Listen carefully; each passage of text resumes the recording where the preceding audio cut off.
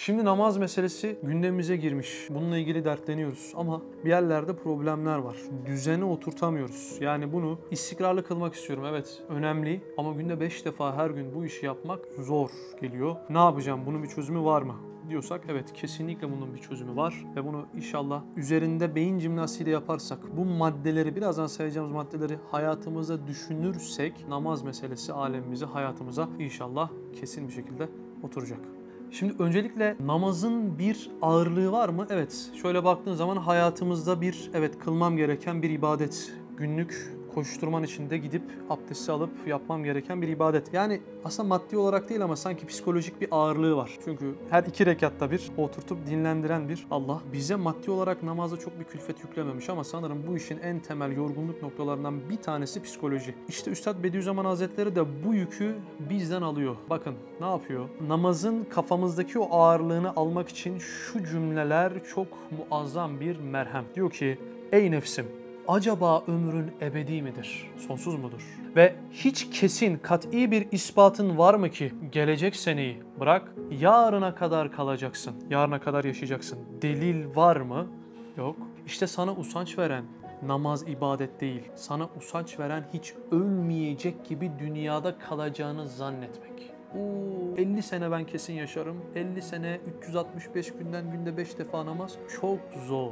Ve zaten 50 sene yaşayacaksam namazla sonsuzumu kurtarmak, ahiretimi kurtarmak, cennetin kapılarını aramak böyle bir şeye ihtiyacım yok. Der gibi insan psikolojik bir ağırlık hissediyor ve namaza da ihtiyacını biraz öteliyor gibi sanki. İşte Bediüzzaman bu cümlelerle aslında bunu yıkıyor. Diyor ki senin ömrün ebedi mi bir kere? Hayır değil. Yarına senedin var mı? Ya hiç düşünmedim ama yok. İşte sana zor gelen hep yaşayacağını zannetmek. Eğer yarın bu işin biteceğini bilseydin eğilip kalkıp şu yaptığın efor aslında çok zor bir efor değil. Ne yap? Sabır gücünü dağıtma, ölümü güzel bir tefekkürle bugün namaz kılacaksın bunu unutma bak. Merhem çok tatlı. Sadece namaz vazifen aslında bugün hatta bugün 5 vakit bile değil sadece bu vakit bir vakit. Mesela şu an öğlen vakti ise öğlen namazını kıldın artık sana farz namazı yok.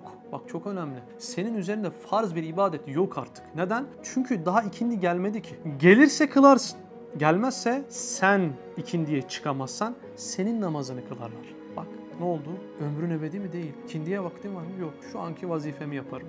E gelirse, gelirse kılarım. Gelmezse benim namazımı kılarlar. Demek ki günde 5 vakit namaz değil, o anın namazı farz. Ve yaşarsan namaz sana farz olmaya devam ediyor. Yani 50 çarpı 365 çarpı 5 vakit namaz falan farz değil. Çünkü namaz dirilere farz. Yaşadığın vaktin namazını kılmaya odaklanırsan psikolojik yorgunluktan kurtulursun. İkinci noktada ise acaba bu namazın ücreti az mı? Basit bir şey mi yani bu? Hani amel cihetinde çok yorucu olmayan bu iş acaba neticesi itibariyle basit bir şey mi? Yani şu kıldığımız namazın performansıyla gitsek değil mi bir iş başvurusuna bulursak ben günde 5 defa oturur kalkarım. Her iki rekatta bir bir kere de oturur dinlenirim ve hani toplasan bütün totalde bir saat. Ama o an için 10 dakika yaparım 3 saat dinlenirim. Sonra 5 dakika yaparım 3 saat dinlenirim. Sonra 15 dakika yaparım 3 saat dinlenirim. Şöyle bir iş performansıyla bir iş başvurusunda bulunsak muhtemelen bize aylık 1000 lirayı bırakın belki bir çay bile ısmarlamazlar. Yani sen ne yapıyorsun ki bana ne? Ne yaptın şu an? Ama Allah öyle bir Allah ki şu basit performansla sonsuzun anahtarlarını sana açabiliyor. Açacağını söz veriyor. Namazda cisme öyle çok ağır bir nokta yokken sonsuzun anahtarlarını verecek de bir fayda var. Yani bunu şöyle düşünebilirsin. Günlük mesela 10 saat çalışıyorsun 100 lira para. Birisi sana diyor ki gel şu 10 saatin içinden 10 dakika şurayı kas 100 bin lira kıymetinde bir elmas bulacaksın. Sen yok ben 10 dakika oraya gelirsem şimdi 100 liramın 10 lirasını keserler. 10 lira gündeliğimden olurum. Ben o 10 dakika için bu 10 liradan vazgeçemem desen ya adama derler ki sen delirdin herhalde. Yani ne dediğinin farkında mısın? 10 liradan vazgeçemediğin neticede 100 bin lira kaybediyorsun. Kendine gel değil mi? İşte onun gibi günlük koşuşturmanın içinde Cenab-ı Hak diyor ki gel 10 dakika şu namazı kıl. Sana sonsuz kıymetli bir hayatı vereceğim ki yapabileceğini de kainatta bir tohumu diriltmek kadar kolay. Bir insanın bedenini bir araya getirip toplamak kadar kolay. Evet ben öldükten sonra diriltebilirim diyor. Sana 100 bin lira değil milyon kıymetinde bir hayat bahşedeceğim dediğinde yok ben gelemem çünkü işte günlük hayatımdan eksilir. 10 dakika 10 lira kıymetinde günlük fani ömrümden çalınır desen elbette ki divanelik yani delilik etmiş olursun. Ücreti az değil ama zahmeti çok az. Az bir zahmetle ebediyeti herkes kazanmak ister. Üçüncü nokta bence en önemlisi namaz bir iman meselesidir. Namaz bir gönül meselesidir. Namaz kulun Allah'ı büyük tanıma. Evet Allah'ım sen büyüksün. Tesbih, tanzim ve şükürdür namaz. Bakar, evet ya Rabbi sen benim Rabbimsin. Evet ya Rabbi ben bütün varlığımı sana borçluyum. Evet ya Rabbi ben de seni seviyorum demektir namaz. Dolayısıyla kulun Allah'ı fark edebilmesidir. Kulun kendi varlığında Allah'ı fark edebilmesidir. Yahu şu an işte bana bir gömlek hediye etseler, bir yemek ısmarlasalar bunun arkasında bu işin zahmetine gireni ben görüyorum. Ama şu beden elbisemin gömlekleri dikmekten çok öte bir eforla hatta öyle bir efor ki hiçbir fabrika, hiçbir usta, hiçbir mühendis bu bedene, bu kaliteyi, bu elbiseyi dikemez. Hiçbir terzi bunun altından kalkamaz. E o zaman bana bunu veren, benden biraz eğilip kalkmamı istiyor bu. Veya önüme sofralar annen serdi veya şöyle lüks bir restoranda bir güzel bir et önüne getirildi.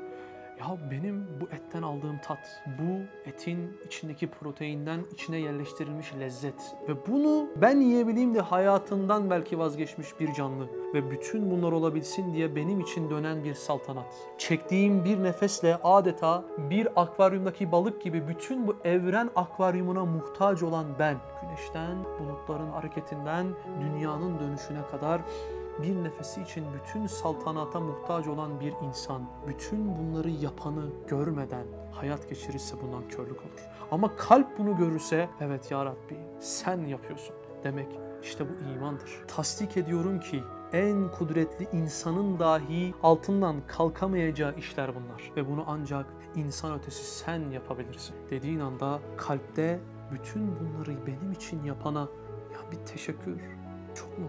Yani sofralar kurmuşsun birine alıp şöyle elinin tersiyle ise yani üzüntüyü bırak şeyi bırak yani ben ne kadar nankör bir insan dersin değil mi?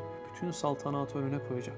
Bir nefesin için bütün bu saltanatı işletecek. Önüne lezzet aldığın şeylerin lezzetli olmasını sağlayacak. Ağzındaki tat reseptörlerinin tat alabilmesini beşer üstü bir teknolojiyle buraya koyacak. Ama sen Elhamdülillahi Rabbil Alemin Errahmanirrahim demeyeceksin önünde hayretle, teşekkürle, onu büyük tanıyarak bir secdeye varmayacaksın. Bu kesinlikle insanın şükürsüzlüğüdür. Bu kesinlikle bir iman problemidir. Hayyâle sale çağrısına gelmiyorum. Ama ben böyle bir şey söylemiyorum. Oturduğun yerden hiçbir şey yapmadan öylece beklemek de bir gelmiyorum. Sen kimsin? Haşa demektir. Baban seni çağırıyor içeriden. Ses vermiyorsun. Oğlum niye ses vermiyorsun? Yüzüne bakıyorsun. Değil mi? Biri sana bunu yapsa veya hadi kalk. Yani namaz bir iman meselesidir ve namaz bir farkındalıktır. Kendini ve kainatta dönen işleri fark eden gönül secdelerden kendini alıkoyamayacaktır. O yüzden kesinlikle tefekkürle, imanı kuvvetlendirerek bu farkındalığı sağlamak lazım. Üçüncü kısım aslında ilk ikisinden daha ehemmiyetli olan namaz bir iman meselesidir. Burayı halletmek lazım. Bu noktada imanımı nasıl kuvvetlendirebilirim diyorsan yine aynı kanalda Sığınam TV kanalında oynatma listemizde imani eğitim setimiz var. Oradan Allah'ın varlığından tut kadere imana kadar ahiretin varlığına kadar kısa kısa izahlar yaptık. O seriyi de mutlaka izlemeni tavsiye ediyorum. Bu noktada bu videoların tabii ki devamı gelecek. Günlük imanımızı bu şekilde kuvvetlendirelim ki içeriden itici bir güç bizi secdeye götürsün. Farkındalığımızı arttırabilelim ki bu farkındalık bizi secdeye götürsün. Günlük düzenli imanı kuvvetlendirmek lazım. Son sözü Resulullah'la bitirelim. İmanınızı La ilahe illallah'la tazeleyin. Tazeleyin ki bu iş secdelere dönsün. Selamun Aleyküm.